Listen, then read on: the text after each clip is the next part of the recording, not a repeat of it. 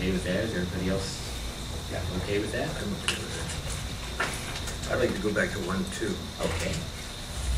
Um, in D, line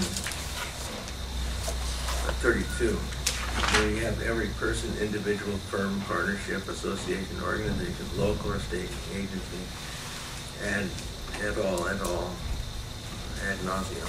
Uh, Couldn't you just say, this program should apply to every application for development or use on any shoreline that Jefferson County has jurisdiction over? rather than listing. Because that would. Certainly, I think you That would cover everybody, it would be far simpler. Sure, yeah, I, I think, uh, the intent was just to provide clarity to make sure that no one thought they were, uh, you know, exempt from the program other than what's identified through the RCW, I with the see federal and tribal. A list like that gives a person the opportunity to find the little spot where you can squeak in and say, oh, I'm not on this list. Your thought? I I think Article One is primarily quite similar to existing, but it's, Well, and you go back to the JCC Title 18, so this is 1825, so that's kind of in the middle. You go to 1805, you have applicability there that's, is very similar. So about, this thing applies to hereafter, nobody shall erect, demolish, uh, build, construct, repair, demolish, you know, just on and on and on. Um, Thesaurus? Yeah, it's, it's repetitive. It seems to me like the program applies to applications more than individuals.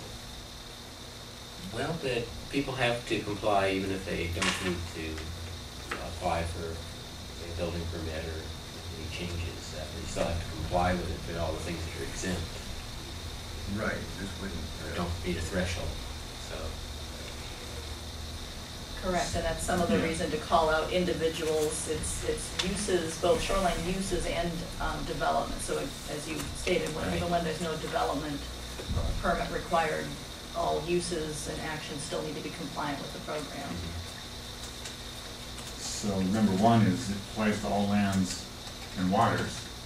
And then number two, look at it in reverse. What then, what does it not apply to? It gives you key there, so Indian Island federal lands, it does not apply to the military.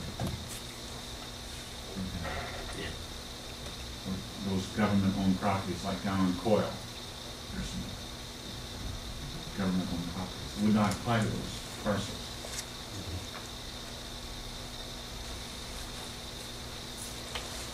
So you'd still have to make a list. It would be the reverse list. You know, it's, and that's how. And Whatever you're, you're comfortable with. Comment, Kind of inclined to keep it the way it is, I guess. okay.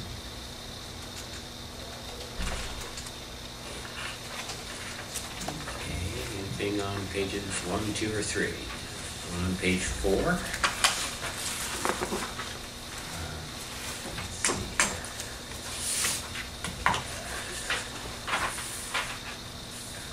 here. Here.